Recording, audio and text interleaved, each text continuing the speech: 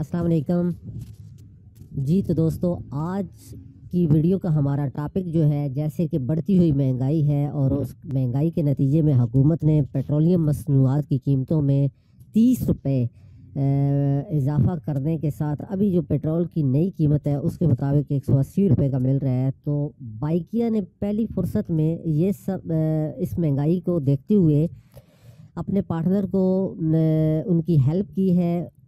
कि passenger ride जो है वो अभी नौ रुपये फ़ी किलोमीटर कर दी है और ऐसे ही डिलीवरी की जो राइड है उसको दस रुपये फ़ी किलोमीटर कर दिया है। तो उस हिसाब से अभी पार्टनर जो है वो जितना ज़्यादा काम करेंगे उनके लिए उतना ही फ़ायदा होगा, क्योंकि डिलीवरी की राइड जो है वो दो रुपये तक बल्कि तीन रुपये उन्होंने बढ़ाई है। उस हिसाब से ये दस रुपये फ़ी किलोमीटर है और पैसेंजर राइड जो है वो है नौ रुपये फ़ी किलोमीटर।